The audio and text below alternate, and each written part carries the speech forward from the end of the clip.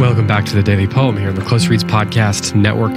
I'm David Kern. Before I turn to today's poem, I just want to let you know we will be announcing the winners of our competition here soon. So make sure that you have checked your Facebook messages and your emails because you may have received a message from me. I'm actually waiting on one more winner to uh, get back to me before we can uh, before we can make the announcements. And I want to say there were so many great great entries, and choosing the winners was very difficult for us. And I know when you choose winners, there has to be losers uh, or people who are at least not winners, you know. But I want everybody to know who has submitted that your kids or or you, if you're listening, uh, did an incredible job, and I hope you'll keep doing it.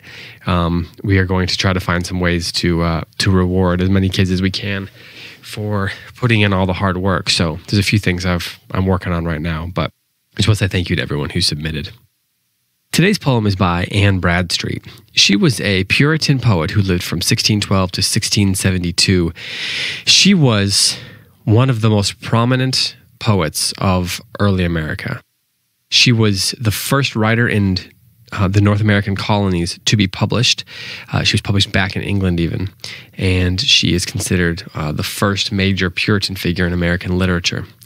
The poem I'm going to read today I'll have more to say about it, of course, here in a few minutes, but it is called The Author to Her Book. And this is actually one of the poems that I remember most from my time in college studying poetry. I'm not exactly sure why, because I didn't particularly love it at the time, but it it's one that I remember for some reason. Uh, maybe I'll be able to figure that out while we're recording here. But here is Anne Bradstreet's The Author to Her Book.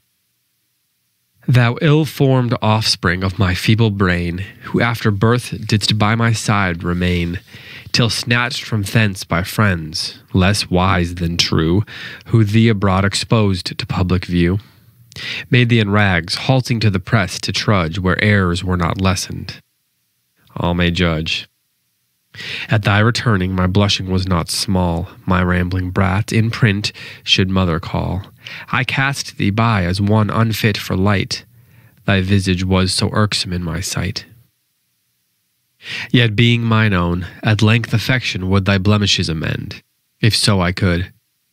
I washed thy face, but more defects I saw, and rubbing off a spot, still made a flaw.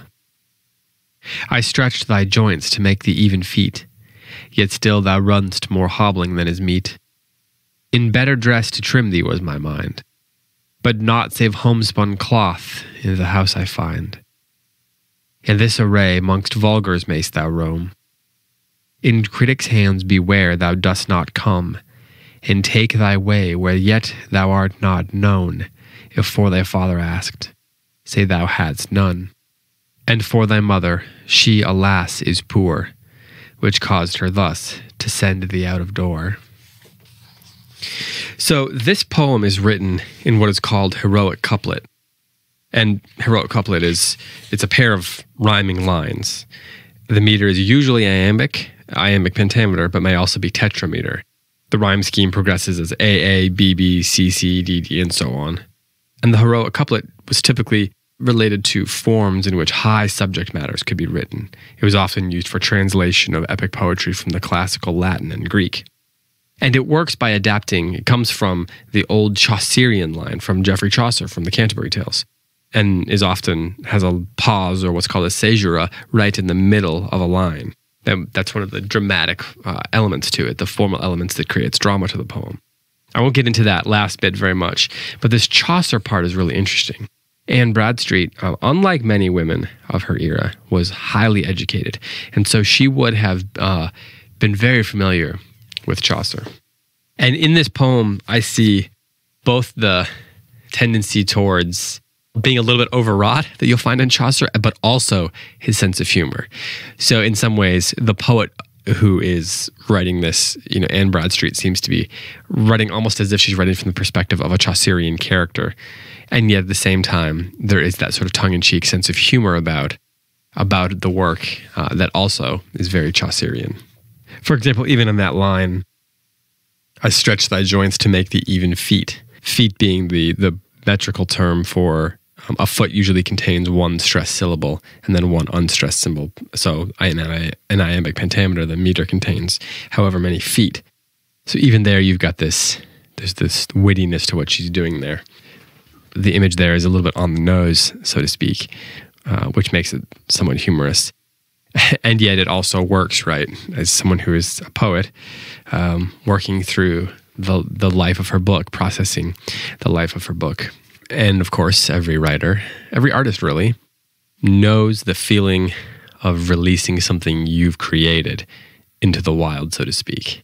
Here, for Anne Bradstreet, that work is her child. She dresses it.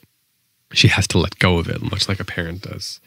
She calls it the ill formed offspring of my feeble brain, uh, that by her side after its birth remained till someone else forced her to take it away. So, this is one of those great poems about the artistic process, something people have been writing about ever since and even before. Uh, Shakespeare wrote about it. In many ways, this is a precursor, though, I think, to so many great American poets, you know, such as Emily Dickinson uh, and Robert Frost and even the likes of Wendell Berry and William Carlos Williams, who spent so much time thinking and writing about the nature of creativity, um, the tensions and anxieties that go with that. So I think that uh, the the context of this poem is very interesting because it's moving us forward into the contemporary age um, in terms of the things that she's thinking about, but also it's rooted so deeply in the medieval and Renaissance era when the heroic couplet was being formed and then being transformed uh, over and over again and, and really taking root. Um, and then in the 1700s, after Anne Bradstreet, it became one of the dominant poetic forms, and she was a key figure in that. So we have this this American poet published in England a Puritan figure, a woman who lays the helps lay the groundwork for one of the most important forms of the of the 18th century, and but then she's also laying the groundwork for the American canon, for the American poets to to follow in her footsteps. So here, one more time, Anne Bradstreet's the author to her book. Thou ill formed offspring of my feeble brain, who after birth didst by my side remain, till snatched from thence by friends less wise than true, who thee abroad exposed to public view, made thee in rags, halting to the press to trudge, where errors were not lessened, all may judge. At thy return my blushing was not small, my rambling brat in print should mother call. I cast thee by as one unfit for light, Thy visage was so irksome in my sight. Yet, being mine own, at length affection would thy blemishes amend, if so I could. I washed thy face, but more defects I saw, and rubbing off a spot still made a flaw. I stretched thy joints to make thee even feet, yet still thou runst more hobbling than is meet. In better dress to trim thee was my mind, but not save homespun cloth i' the house I find. In this array mongst vulgars mayst thou roam. In critics' hands beware thou dost not come, and take thy way where yet thou art not known. If for thy father asked, say thou hadst none. And for thy mother, she alas is poor, which caused her thus to send thee out of door. This has been the Daily Poem. Thanks for listening. I'll be back tomorrow with another one.